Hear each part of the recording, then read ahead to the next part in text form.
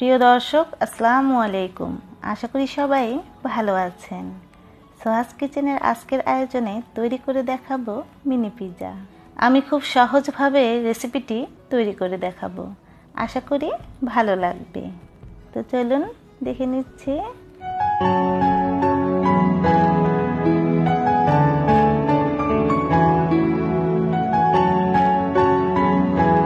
প্রথমেই ডো তৈরি করে নিচ্ছি। এর জন্য একটি মিক্সিং বলে এক কাপ পরিমাণ কুসুম গরম লিকুইড দুধ নিয়ে নিচ্ছি। এর মধ্যে দিয়ে দিচ্ছি এক চা চামচ ইস্ট। খুব ভালো মতো একটু মিক্সড করে নিচ্ছি। এখন দিয়ে দিচ্ছি এক টেবিল চামচ চিনি, হাফ চা চামচ লবণ দিয়ে আবারও মিক্সড করে নিচ্ছি। দিয়ে দিচ্ছি এক টেবিল চামচ রেগুলার রান্নার সয়াবিন তেল। এখন এই লিকুইড মিশ্রণের মধ্যে এক কাপ ময়দা দিয়ে দিচ্ছি, আর ময়দাটা অবশ্যই চেলে নিতে হবে।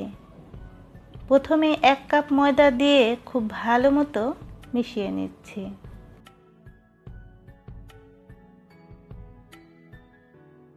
এখন আরও হাফ কাপ ময়দা দিয়ে আবারও খুব ভালো মতো মিশিয়ে নিচ্ছি। এই ডোটা হাত দিয়ে মথে নেওয়ার কোনোই প্রয়োজন নেই। স্প্যাচুলা দিয়ে এইভাবে খুব ভালো মতো মিশিয়ে নিলেই হয়ে যাবে। ডোটা কিন্তু ঠিক এইরকম নরম করে তৈরি করে নিতে হবে। আপনারা দেখে নিশ্চয়ই বুঝতে পেরেছেন। এখন সামান্য একটু তেল মেখে ঢেকে রেখে দেব, যতক্ষণ পর্যন্ত না ফুলে উঠবে।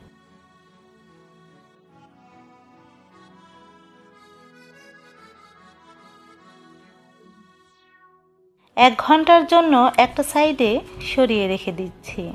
পিজা তৈরি করে নেওয়ার জন্য এখানে আমি চিকেন সসেজ নিয়েছি আর এইরকম ছোট ছোট টুকরো করে নিয়েছি। এই সসেজগুলো হালকা ভেজে নেব। এক টেবিল চামচ বাটার আর স্বাদ মতো গোলমরিচের গুঁড়ো দিয়ে হালকা ভেজে নিচ্ছি। এই সসেজগুলো ভেজে নেওয়ার কারণে ফ্লেভারটা খুবই ভালো আসবে এবং খেতেও কিন্তু অনেক বেশি মজার হবে। ঠিক এই রকম হালকা করে ভেজে নিতে হবে। এখন এটাকেও একটা সাইডে সরিয়ে রেখে দিচ্ছি। এখানে আমি মোজরেলা চিজ নিয়েছি।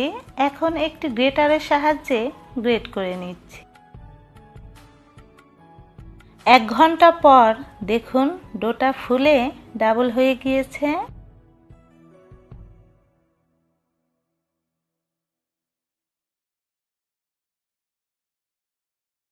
এখন এই ডোটা দুটো ভাগ করে নিচ্ছি এবং একটি ভাগ দিয়ে আমি রুটি বেলে নেব। সামান্য একটু ময়দা দিয়ে প্রথমেই হাতের সাহায্যে এইভাবে একটু ছড়িয়ে দিতে হবে। ময়দা দেওয়ার কারণে হাতে আর লেগে যাবে না। এখন রুটি বেলে নিচ্ছি, তবে রুটিটা খুব বেশি মোটাও হবে না, আবার খুব বেশি পাতলাও হবে না। ঠিক এইরকম পুরুত্ব করে রুটি বানিয়ে নিতে হবে। এখানে আমি একটি গোল কাটার নিয়েছি। এখন এই কাটারের সাহায্যে কেটে নিচ্ছি। আপনাদের সুবিধার জন্য এই মিনি পিজাগুলো আমি চুলায় এবং ওভেনে তৈরি করে দেখাবো। পিজা প্যানে আমি সামান্য তেল মেখে নিয়েছি। এখন এই ছোট ছোট রুটিগুলো প্যানের মধ্যে এইভাবে ছড়িয়ে রেখে দিচ্ছি। ঠিক একইভাবে আমি আরও একটি রুটি বানিয়ে নিয়েছি এবং কাটারের সাহায্যে কেটে নিচ্ছি। এখন এই ছোট ছোট রুটিগুলো ফ্রাই প্যানের মধ্যে এইভাবে ছড়িয়ে রেখে দিচ্ছি। আর ফ্রাই প্যানে তেল মেখে নেওয়ার কোনো প্রয়োজন নেই। প্রথমেই ওভেনে পিজা তৈরি করে নিচ্ছি। একটি কাটা চামচের সাহায্যে এইভাবে ছিদ্র করে দিচ্ছি। এখন সস দিয়ে দিচ্ছি। আমি এখানে টমেটো সস আর সুইট চিলি সস মিক্সড করে নিয়েছি। তবে আপনারা চাইলে পিজা সসও দিতে পারবেন। আপনারা আপনাদের পছন্দ মতো যে কোনো সস ব্যবহার করতে পারবেন। আগে থেকে ভেজে রাখা সসেস এইভাবে ছড়িয়ে দিচ্ছি। এখন আমি আমার পছন্দ মতো চিজ ছড়িয়ে দিচ্ছি।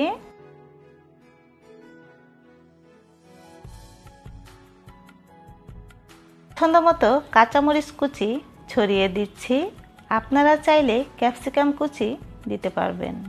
সামান্য পরিমাণ অরেগানো ছড়িয়ে দিচ্ছি। ওভেন আমি একশো পঞ্চাশ ডিগ্রি সেলসিয়াসে দশ মিনিট প্রিহিট করে নিয়েছি। এখন পনেরো থেকে বিশ মিনিটের জন্য বেক করে নিচ্ছি। ওভেনের পিজাগুলো বেক হতে থাক। এই ফাঁকে চুলায় পিজা তৈরি করে নিচ্ছি। চুলায় ফ্রাই প্যান বসিয়ে দিয়েছি, চুলার আঁচ একদম লোতে রেখেছি। এখন এভাবেই দুই থেকে তিন মিনিটের মতো অপেক্ষা করব। কিছুক্ষণ পর দেখবেন ফুলে উঠবে। যখন এরকম হালকা ফুলে উঠবে, ঠিক সেই পর্যায়েই চুলা অফ করে দিয়ে উল্টিয়ে দিতে হবে। এখন এই ব্রেডের ওপর পছন্দ মতো সস ছড়িয়ে দিচ্ছি। একইভাবে ভেজে রাখা সসেজ আর গ্রেট করে রাখা চিজ এবং অরেগানো ছড়িয়ে দিচ্ছি। আমার চ্যানেলে পিজা সহ আরও বেশ কিছু ব্রেডের রেসিপি আছে। চাইলে দেখে নিতে পারেন। ডিসক্রিপশন বক্সে সবগুলো লিংক পেয়ে যাবেন। প্রিয় দর্শক, যারা এখনও চ্যানেলটি সাবস্ক্রাইব করেননি প্লিজ চ্যানেলটি সাবস্ক্রাইব করে পাশে থাকা বেল বাটনটি বাজিয়ে রাখবেন। আর যারা চ্যানেলটি সাবস্ক্রাইব করেছেন, তাদেরকে তো অসংখ্য ধন্যবাদ। এখন ঢেকে দিচ্ছি এবং চুলা অন করে দিয়েছি। চুলার আঁচ একদম লোতে রেখে অপেক্ষা করব। যতক্ষণ পর্যন্ত না চিজটা পুরোপুরি গলে যাবে। এদিকে ওভেনের পিজাটাও আমাদের বেক হয়ে গিয়েছে। দেখুন কত সুন্দরভাবে ফুলে উঠেছে। আর দেখতে কতটা কিউট লাগছে, খেতেও কিন্তু অনেক বেশি মজা হয়েছে। চুলার পিজাগুলোও আমাদের হয়ে গিয়েছে। দেখুন চিজটা পুরোপুরি গলে গিয়েছে এবং ব্রেডটাও কত সুন্দরভাবে ফুলে উঠেছে। আর এই চুলার পিৎজাগুলো হতে সময় লেগেছে বিশ মিনিট। আপনারা এইভাবে ঘরেই পিৎজা তৈরি করে দেখবেন, আশা করি নিরাশ হবেন না। দেখুন, কতটা নরম তুলতুলে হয়েছে। এই পিজাটা আমরা চুলায় তৈরি করেছি। আর কতটা পারফেক্ট হয়েছে সেটা তো আপনারা দেখেই বুঝতে পেরেছেন। প্রিয় দর্শক, আশা করি রেসিপিটি ভালো লেগেছে। আজকের মতো তাহলে বিদায় নিচ্ছি। সবাই খুব বেশি ভালো থাকবেন, নিরাপদে থাকবেন। আল্লাহ হাফিজ।